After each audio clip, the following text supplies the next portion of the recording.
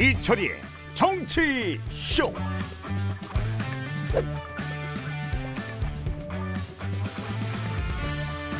안녕하십니까 이철입니다.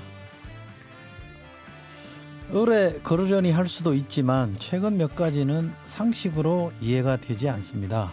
우선 민주당이 공수처장 추천과 관련해 야당의 비토권을 삭제하는 법 개정 의사를 내비치고 있습니다. 이는 처음 법을 만들 때 한 약속에 대한 명백한 위반입니다. 국민의힘은 공수처장 추천위원으로 세월호 참사 특위 활동을 방해해 사퇴한 바 있고 공수처가 위원이라고 주장하는 사람을 선택했다고 합니다. 미루고 미루다 이런 분을 추천하는 건 공수처의 출범을 방해하기 위한 또 다른 시도로 보입니다. 정의당이 고 이건희 회장을 조문하지 않기로 한 것에 대해 하태경 의원이 제기한 색깔론도 매우 황당합니다.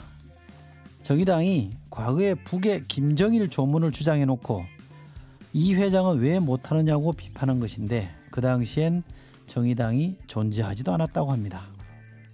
비판이든 공격이든 하는 것은 자유이지만 요즘 표현대로 선을 넘지 않아야 합니다.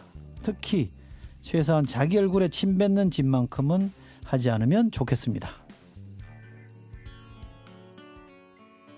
Yeah.